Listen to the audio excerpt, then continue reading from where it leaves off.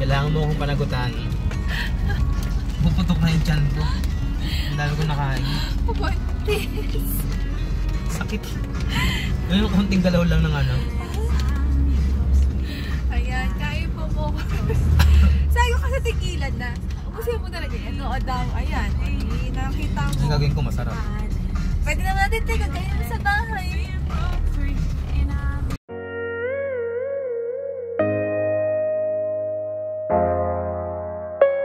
Good morning! Morning! Afternoon na late na.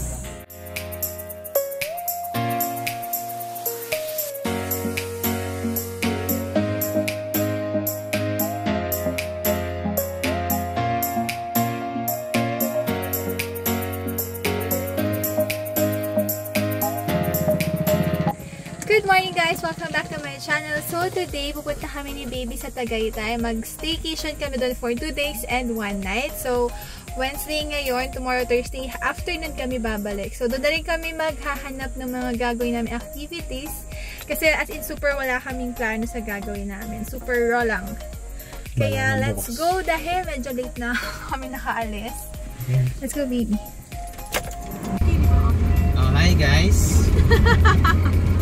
Bali ngayon, pumunta kami ng Tagaytay. Eh, maganda kami topic. Oh, magkawan Usapang crush.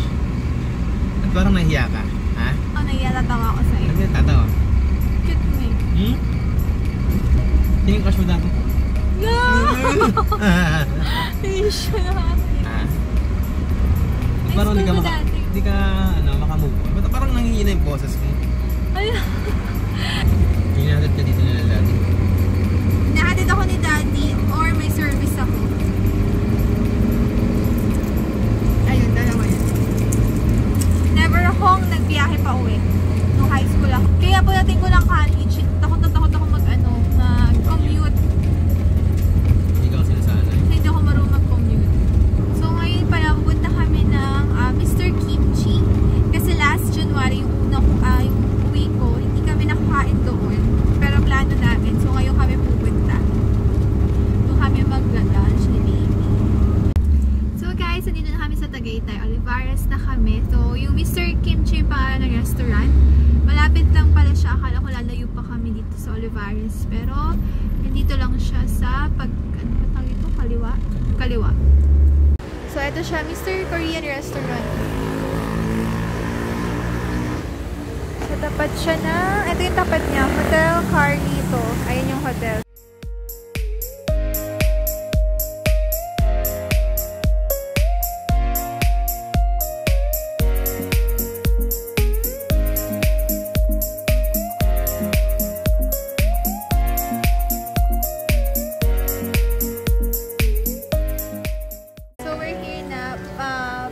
Pwede kang pumili kung sa loob ka kakain or dito sa labas yung may view. Mas better kapag dito sa labas. Pero hindi kami nag-further dun sa ibang table kasi baka umulan anytime dahil makulimlim na. Alam, masarap? Masarap. Lalapagan. Galing ka talaga. Sarap, masim-masim, no? So, meron kasama drinks. Isang, pipili ka, isang lemon cucumber. Tapos, ang tawag dito, iced tea. May food, may mga soup, for, of course, salad. Tapos, yung mga sides nila, kimchi, noodles, yan, tofu, egg. Tapos, kay baby, ayun. Tapos, ito yung order namin, beef, and yung lettuce. Beef lang in order namin para hindi masayang yung pork kasi hindi naman ako kain ng pork.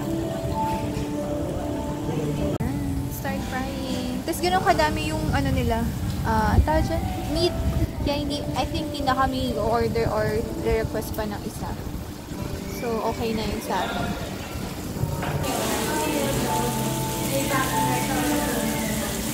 Igan na.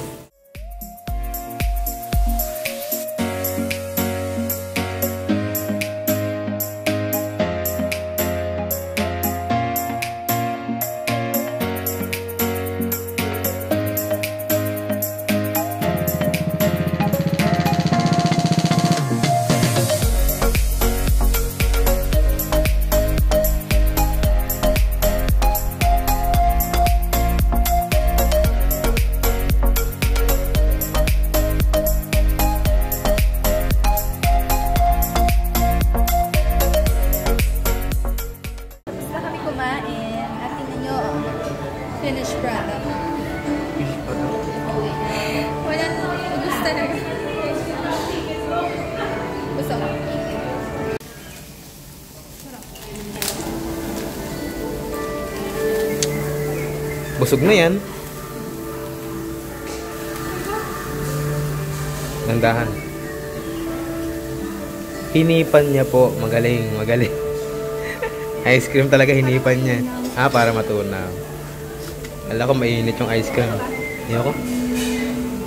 Baka mapaso ako eh.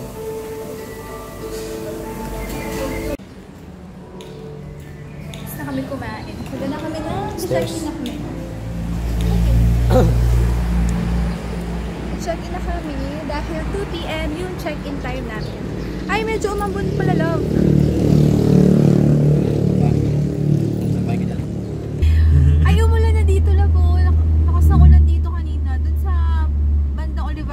Olivares, wala pang ulan eh. Fruits.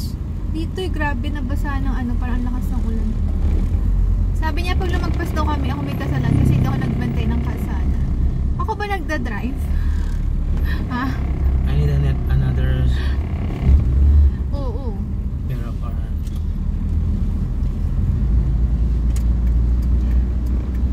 Ayan na? Baka ito. Yun na yun? You have reached your destination. So guys, andito na kami ngayon sa One Tagaytay ni Baby. So tanggalin ko to talaga. Flag kayo.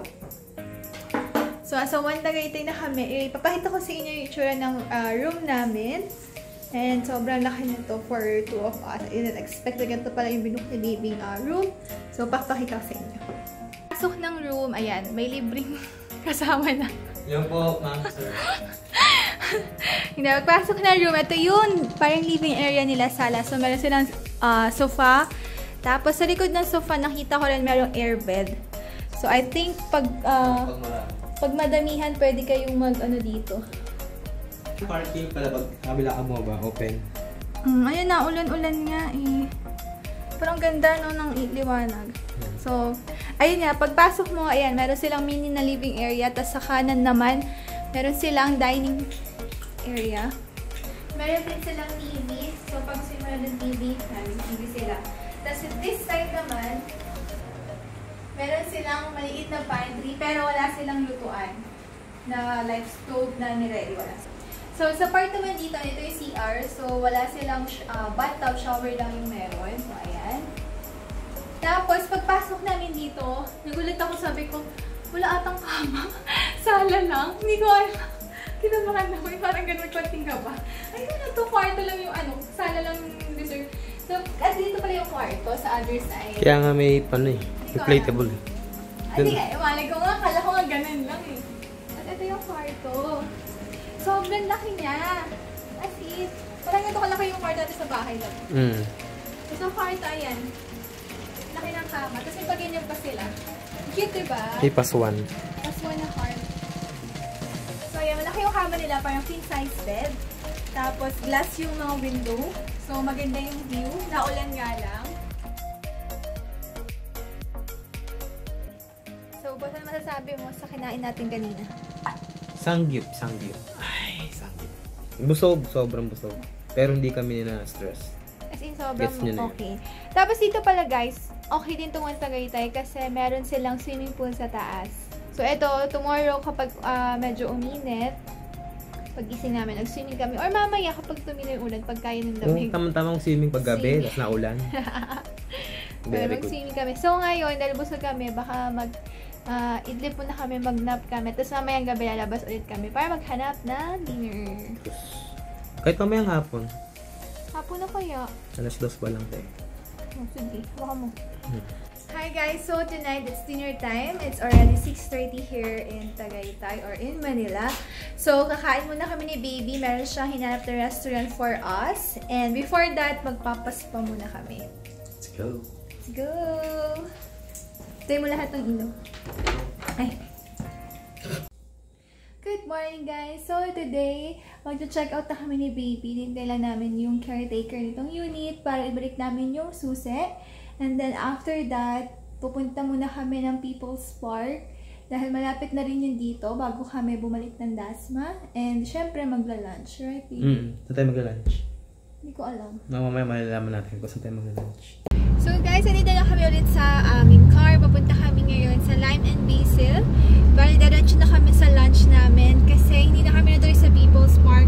Kanina medyo maaraw naisip namin baka mainit. But yung weather ngayon is like yesterday. Sobrang kulimlim, baka umulan lang. Especially mataas yung part doon. I know I, na uulanin yun, um, unang uulanin. So sabi namin ni Baby, mag-lunch na lang kami dahil lunch time na yun naman. So, we are here na at Time and Basil. So, naka-order na kami. Hintay lang namin yung order namin. And then, tinikman namin yung spring rolls nila. Sobrang sarap. So, enjoy na ni Baby lahat. O hindi, tumigil ka. Pero hindi naman ganyan ang pagkain mo kanina. Siyempre may camera na kayo na. Bahala kayo. Anong tawag dito sa Pomelo salad? So, this pomelo salad. Meron siyang mga fresh pomelo. Ang ganda. Shrimp. Parang hindi, hindi mo kaya sirain. Ang Sobrang ganda. Bukod sa maganda, sobrang fresh. Picture.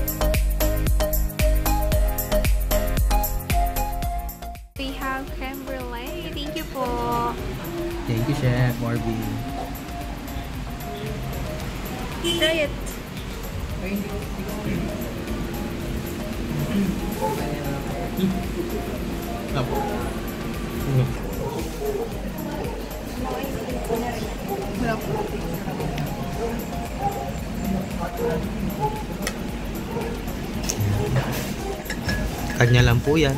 Pinatikim niya lang ako. Hindi ah. Hati tayo. Naawa po siya kaya hatian niya ako. Pero kanya talaga yan. Yung kunyari po, para sa video binigyan niya ako. Hindi, grabe nga pala mo. Pero kanya lang po talaga yan. Dahil yan ang favorite niya. Hindi, mabait ako. Ay, mabait po yan, no? Binigay na sa akin. Ay, para sa camera. Para sa vlog po. Hindi po.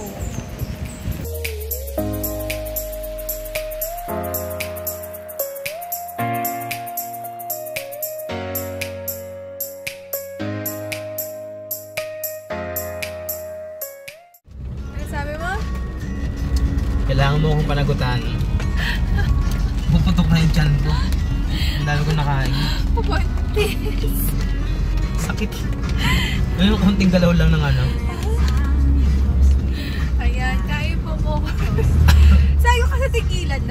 Ubusin mo talaga yan. Oo daw. Ayan. Eh, nakita Ang mo. gagawin ko masarap.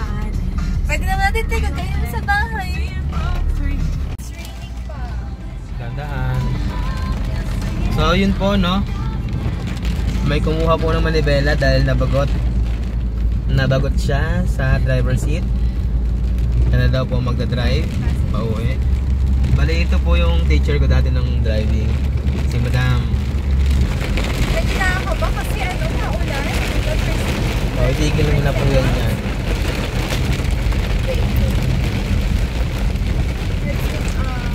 Tigil po kami, papulit ulit kami. So, bali ako na naman lumabas ha.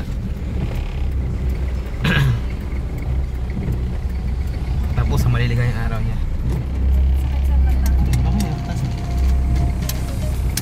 Bigla umulan kasi kanina yung. See? Open na ba niya, madam? Ako, ako yung tatakbo eh. Kasi, lak ng tucha. Mababasa ka na. May pa. Hindi, kasi kanina hindi na naulan. Kaya sabi ko, go, go, go, go!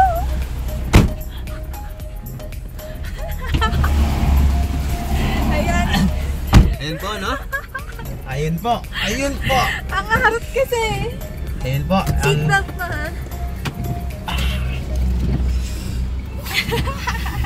napakainit mo sa labas. Bigla kasi ano, umulan. Sakit sa mata. Ulan.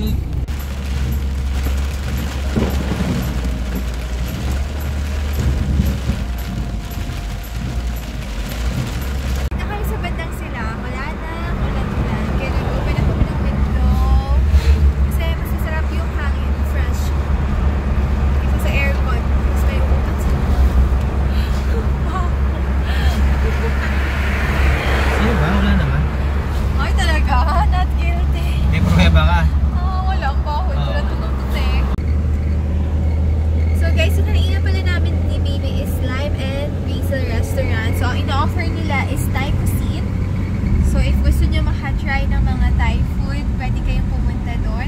Ako, nakatry na ako ng iba't ibang restaurant out of Bangkok, sa Europe, sa US.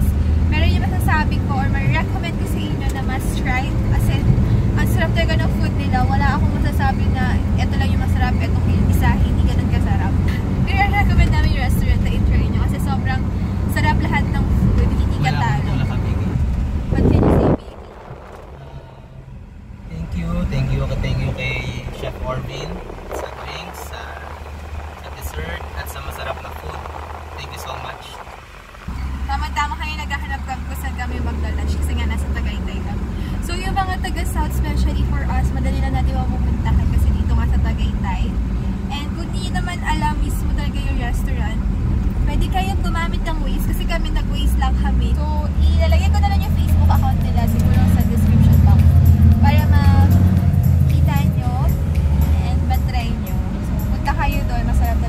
talaga.